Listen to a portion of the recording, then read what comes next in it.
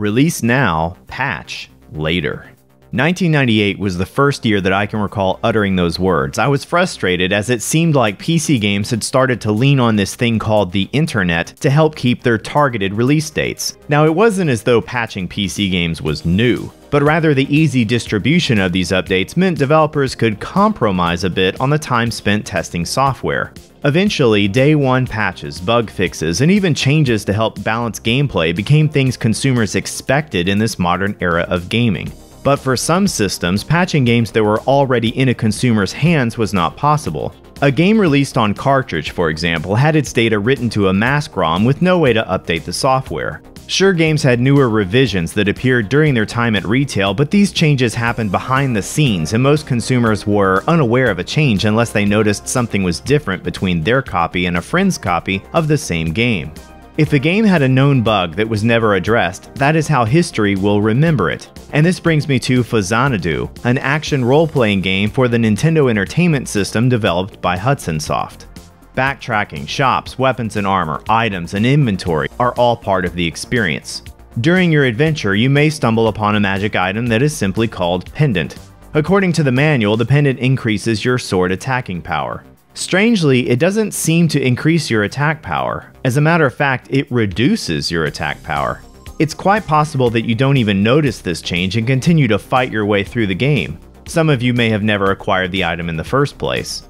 While some games were released unfinished, others had a fair amount of testing, something that you would expect when it comes to games that cost some money to produce and have no way of being updated after being purchased, at least not without swapping out the consumer's cartridge. Faxanadu may have some quirks to it, but seems well made. Nintendo elected to publish it as a first party title in the United States. Of course, at the end of the day, nobody's perfect. The pendant's implementation is bugged. It isn't game breaking, just an annoyance. In some bit of irony, Faxanadu did receive a ROM revision inside its release window in the United States. Changes were made to the font, perhaps to help with password legibility. It is possible that there are other changes, but I do not know if they've been documented. As for the pendant bug, it remained present in the new revision. The gaming community offers this simple advice when it comes to dealing with this bug don't get the pendant. That's, well, that's good advice. Alternatively, you may see those that suggest you get the pendant if you would like an extra challenge. Also fair, there are certainly those that appreciate a greater difficulty in the games they play. But what if you are currently playing through the game, have already acquired the pendant, and wish you hadn't? What is the cause of the bug? Can anything be done? Let's take a look at combat before and after acquiring the pendant.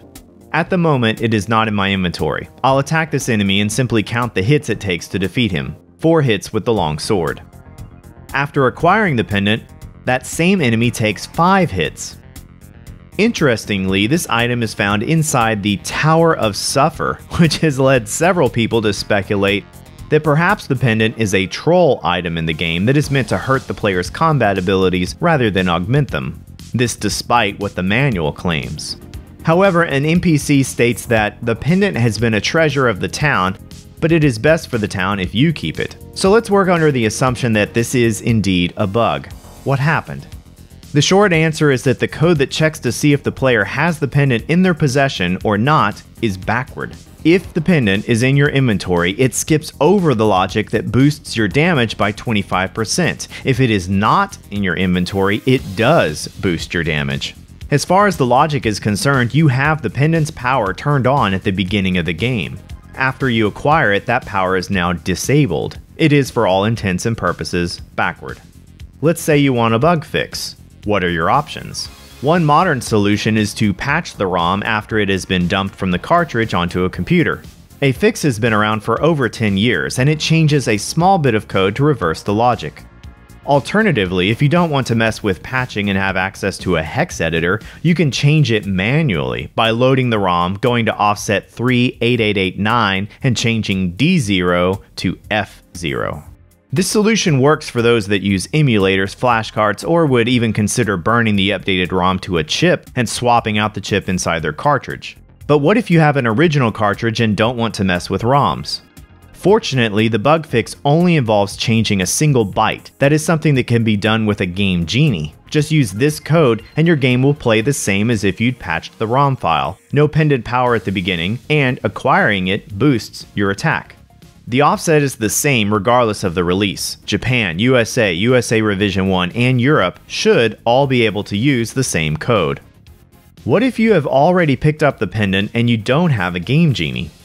Faxanadu uses passwords rather than a battery to help you maintain your progress. Fortunately, this password system has been reverse engineered. Even better, the community has created password generators that are available online. You can find password generators for several games, including Faxanadu, on the website tasvideos.org. Now, obviously, this generator gives you complete freedom to fire up the game with whatever you want in your inventory weapons, armor, items, and the current town you're in, the works. So you could create something from scratch here and cheat to your heart's desire. However, you can also plug in your current password in the top field, leave the box, and it will decode your password into the boxes for the password generator. Once this has been done, simply uncheck the box for the pendant to receive an updated password for your current quest minus the pendant. Now you can continue to play the game without the penalty of having the pendant in your inventory. No patches, Game Genie, or additional hardware needed.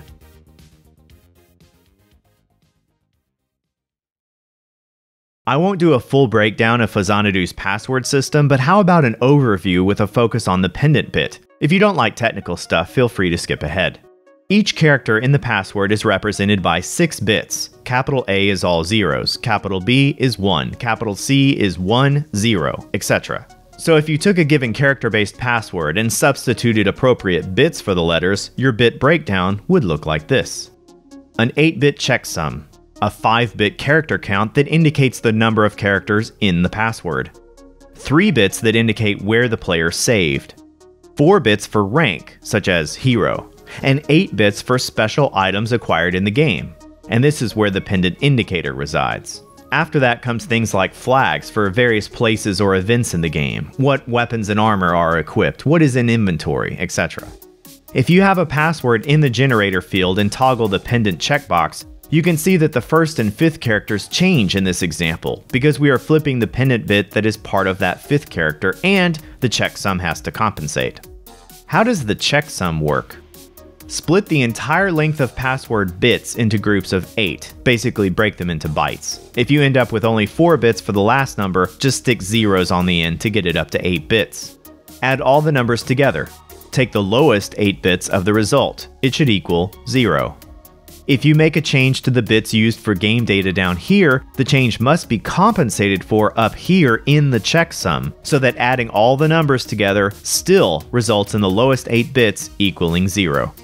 So if you flip the bit to remove the pendant from your inventory, flip the corresponding bit in the checksum so everything still adds up to zero. Thanks to the password generator on TASVideos, you don't have to alter your password manually, but you could almost do it in your head, or at least on paper with a character decoder and a bit count list for your input password. Finally, what about bug preservation? Well, that's a strange topic. What do I mean by that? Older games will sometimes see official re releases in the form of a collection or even as a single title. Generally, that game is wrapped up in some form of emulation of the original platform's classic hardware. Pushing beyond this usually means there is a remake of some sort, which in my mind means it is automatically a different game. But let's say that we've reached the moment of Faxanadu's next release, and it is more or less an emulator wrapped game. Should the game remain the same as it was when it was originally released, or do we allow for bug fixes? Is it acceptable to fix a 30 plus year old bug by altering a single byte in the ROM, or should that bug remain and frustrate new generations of gamers for the rest of time? Personally, I say fix it. I don't believe there is a blanket yes no response to this question that it should vary from game to game, but in the case of Faxanadu, yeah, fix it.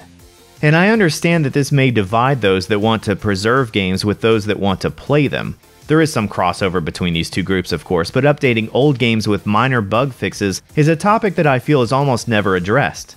Maximum effort for making a minor bug fix like this would be to create some sort of menu item in the emulator that allows for people to experience it as it was at the time of release, or enable quality of life improvements or bug fixes. And we really get into philosophical differences here, because if you select option 1, shouldn't save state functionality be disabled for the game?